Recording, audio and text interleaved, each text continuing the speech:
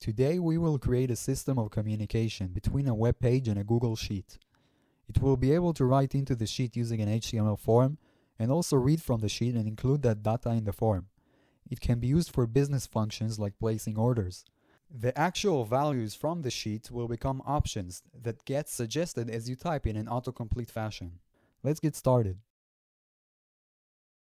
We will begin by creating the sheet.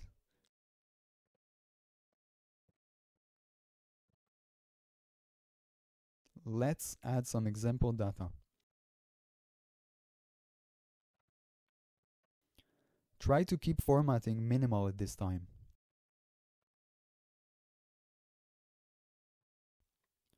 Now create an app script through extensions. This is basically our backend.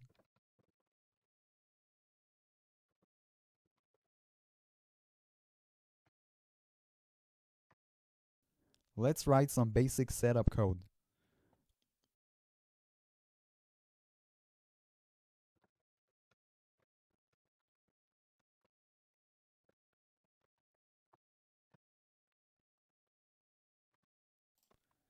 All the code written throughout the video is available in my GitHub, link in description.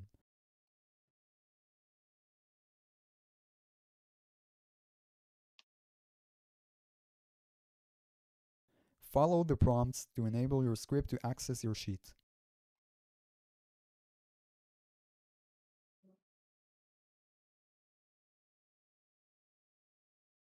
The script is going to cover HTTP GET and POST. We will start from GET. Our GET will return all the values from the requested column.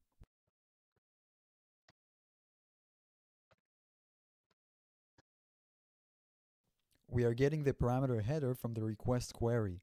Header is the column name, like customer, address, etc.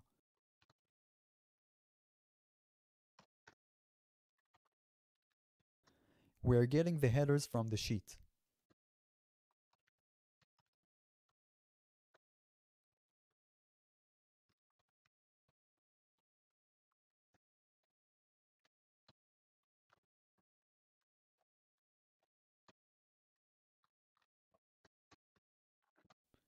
We are checking the location of the header we want out of all the headers. We add one to get its actual column.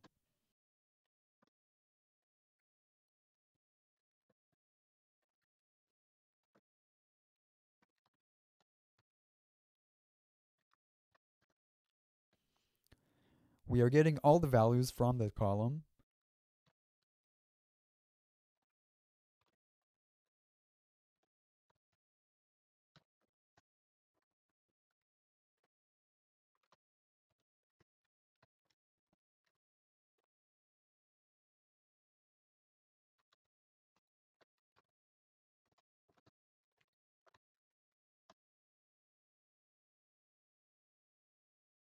make sure to return the data.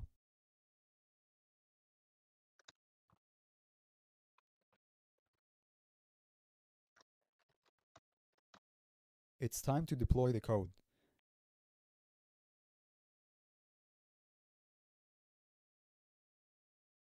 After deploying, go to Test Deployments. Copy the URL from there to make sure you're always running the latest revision of your code you can check the get using your browser.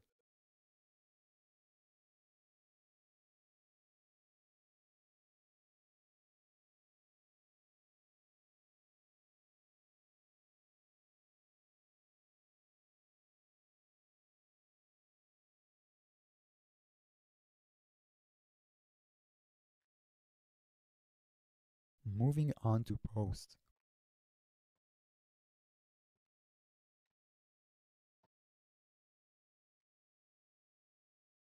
Portions of the code are the same.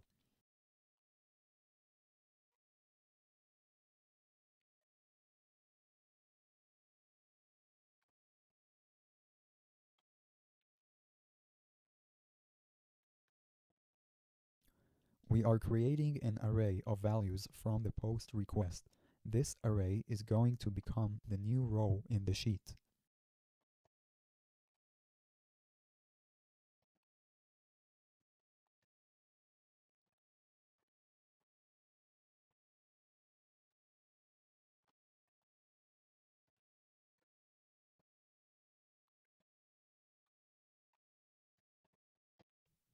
We are inserting the new row into the sheet's next available row.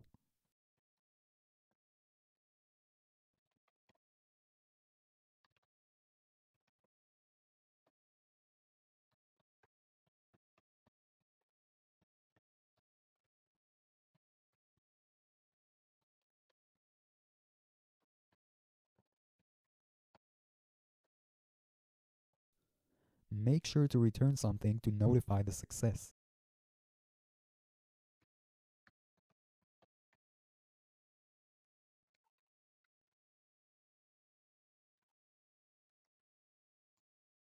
We need a form to post data into the sheet.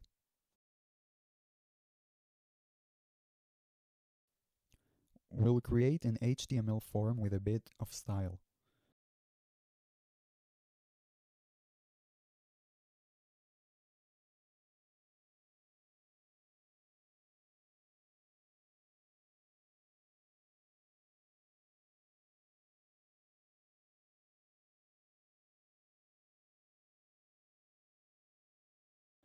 Take your test deployment URL and paste it in the code.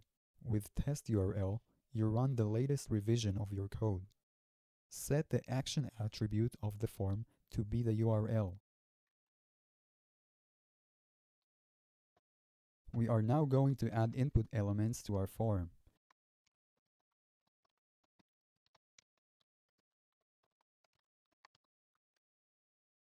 Notice that the name attribute of the input element has to be exactly the same as the column name from the sheet.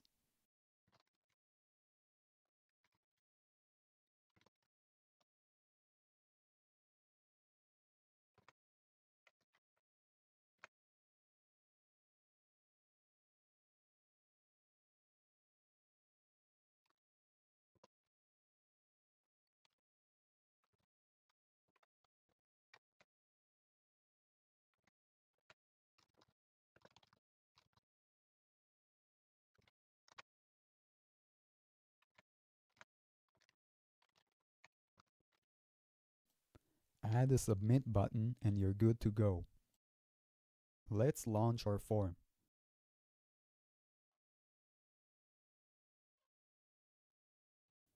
Another bit of CSS.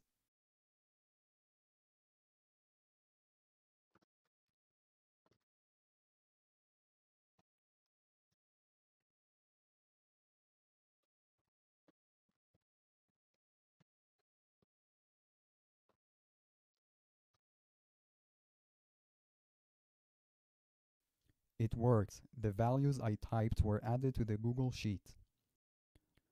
Let's add some sample data.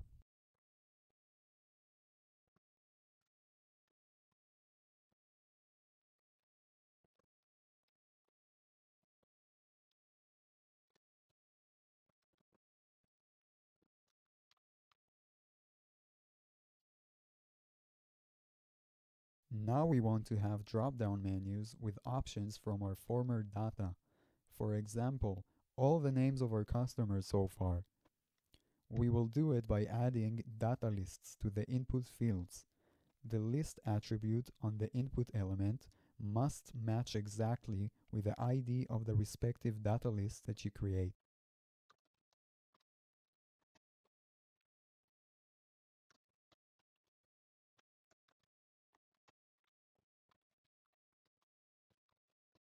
We will create data list options using a function.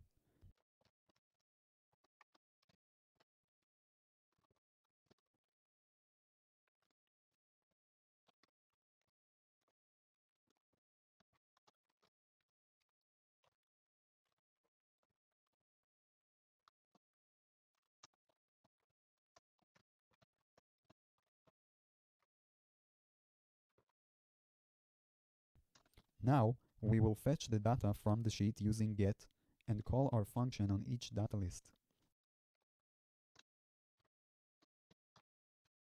The fetch query must have the column name exactly as it appears in the sheet.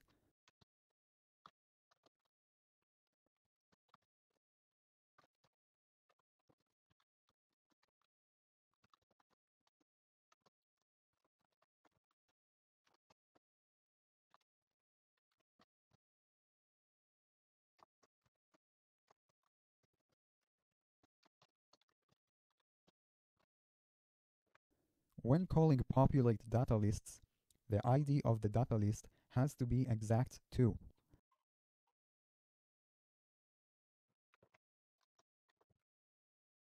Replicate the code for each input field you want suggestions for.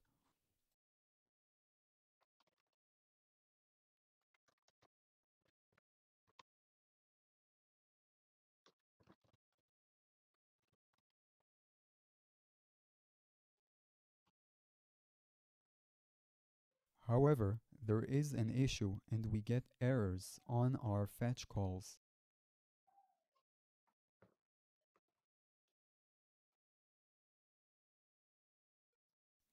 So we need to redeploy our script, make sure access is anyone, and use the official URL and not the test URL.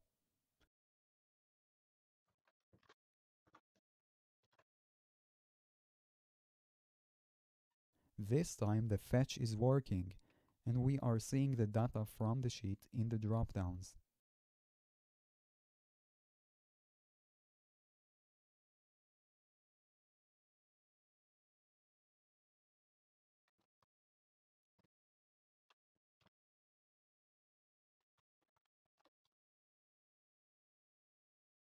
You may notice another issue comes up.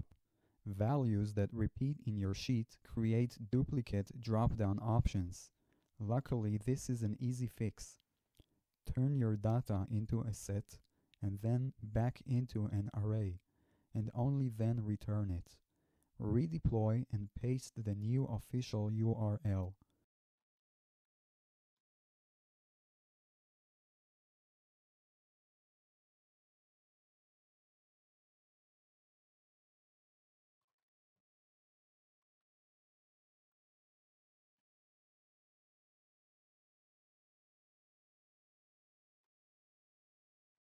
You can see that values aren't repeating anymore.